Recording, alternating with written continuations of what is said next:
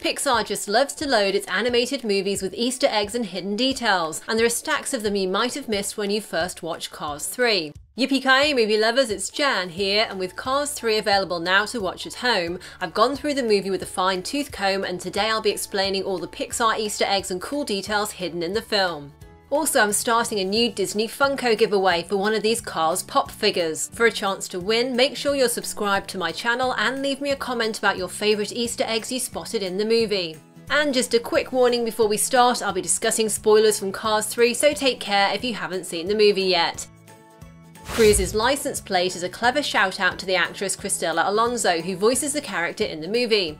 It's a combination of her initials, C and A, and then her birthday, January the 6th. Plus, the plate is registered in Texgas, a pun on Texas, which is where Alonzo was born. The Sleepwell Motel from Toy Story of Terror also shows up in Cars 3, on a giant roadside advert above the bridge where Mack and Lightning spend the night after the Thunder Hollow incident.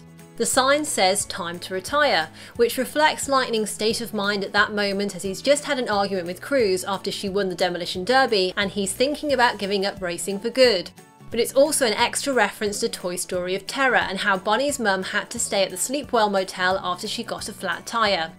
Also on that billboard, there's a deep cut Easter egg to Pixar's incorporation date in the number 020386, in other words, February the 3rd, 1986.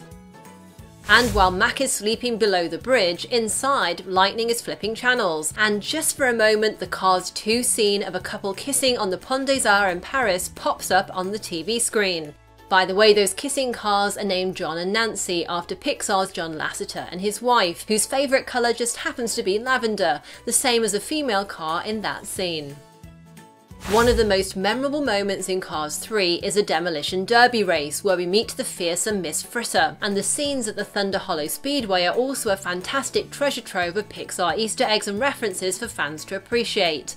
During the contest, one of the competitors, Bill, gets pushed along by Miss Fritter and his colour design is the same as Pixar's famous Luxo ball, plus he even has the Luxo ball painted on his hood. The Luxo ball appeared in Pixar's very first short film Luxo Jr. together with two desk lamps, one of which is still used in Pixar's logo.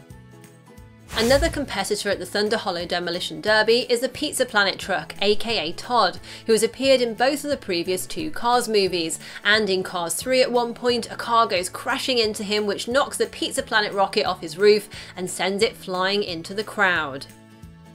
A Crazy 8 racer called T-Bone, whose body is kind of twisted, has a street sign at the front of his hood in the race. The sign reads Park Avenue, a shout out to the location of Pixar Animation's main office at 1200 Park Avenue, Emeryville. Miss Fritter is of course the queen of the track at Thunder Hollow, and the design of her smokestacks are a deliberate homage to the horns of the classic Disney villain Maleficent. And dotted around the speedway are a number of billboards which have some super sneaky Easter eggs hidden within them. There's a car life insurance ad by a company called Insuricare, which is the same insurance company that Bob works for in The Incredibles. And the Wild Bill's Racing Cones billboard is a reference to the Cars 3 production designer Bill Cone. And the radio station Wild 86.2 FM is another deep cut Easter egg to the month and year when Pixar was incorporated, February 1986. By the way, there's yet another nod to that year in the movie as the number of Bill the Luxo ball car is 86. And 1986 is also the year that Pixar released their first short film Luxo Jr., which also featured the Luxo ball. In 1986, it was Steve Jobs who provided the investment money for Pixar's spin out as a corporation from Lucasfilm. And since then, Pixar have included numerous homages in their movies to Steve Jobs' most famous brand, Apple. In Cars 3, you can hear the Mac starting sound when Cruz boots up the treadmill on Fireball Beach. Oh, okay. You might also have heard the same sound in WALL-E, as it plays after WALL-E has finished charging himself.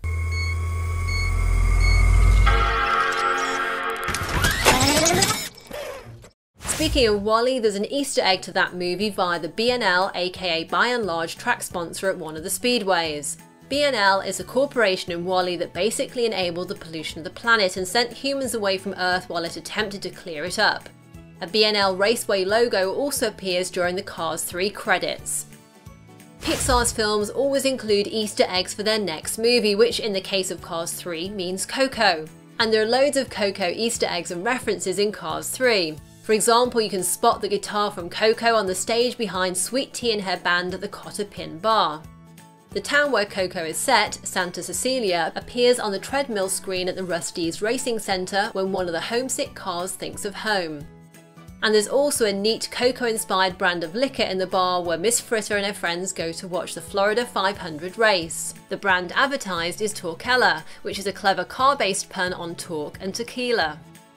While Miss Fritter's in that bar, you'll need to look very carefully to spot a sneaky A113 Easter egg via one of the license plates hanging on the side of the school bus, and you can see that a bit more clearly during the Crazy 8 Demolition Derby as well. Miss Fritter collects license plates from the opponents she defeats at the Thunder Hollow Speedway, and she also seems to collect street signs. And one of those street signs is for West Cutting Boulevard, a reference to the street address of Pixar's former headquarters in Richmond, California. Other Cars 3 A113 Easter eggs include one on the press sticker that track reporter Shannon Spokes wears on her side, and there's a fairly obvious A113 on the door to Sterling's office at the Rust-eze Racing Centre. And inside Sterling's office there are some more cool Easter eggs. Hidden among the trophies on his shelves is Cinderella's pumpkin carriage. The movie's set department included this as it's a four-wheeled vehicle and is a fun little nod to one of Disney's classic films. And this one is much harder to see, but if you look very carefully, you'll see there's a small picture of Sir Miles Axlerod, the villain from Cars 2, which might suggest that Sterling once knew the evil mastermind from the second Cars movie. The miniature tree on Sterling's desk also looks a lot like the tree from A Bug's Life, which has also appeared previously in Up and Toy Story 2. And before Lightning went to the Rust-eze Racing Centre, he spoke on a payphone to Rusty and Dusty from Radiator Springs. Now, that payphone was originally designed to appear in the first Cars movie, but ended up being cut. In fact, when Cars 3 production designer Jay Shuster joined Pixar back in the early 2000s, that payphone was one of the very first things he created. During the Florida 500 race, one of the racers spins out of control, nearly causing a multiple car accident. The spinning car is number 31 and its sponsor is Triple Dent Gum, which is the chewing gum from Inside Out that had a recurring jingle that played throughout that movie. Now, what was your favourite moment or Easter egg in Cars 3 and were there any other cool details you spotted that I missed? Let me know in the comments below and don't forget to subscribe as well for a chance to win a Disney Cars 3 Funko Pop. I'll probably announce the winner on one of my upcoming Coco videos next month, so make sure you have notifications enabled to get all my new videos as soon as they're ready. And if you enjoyed this, do hit that thumbs up button and take a look at some more Pixar and other videos you might like right here. Thanks for watching and see you next time, yippee ki movie lovers!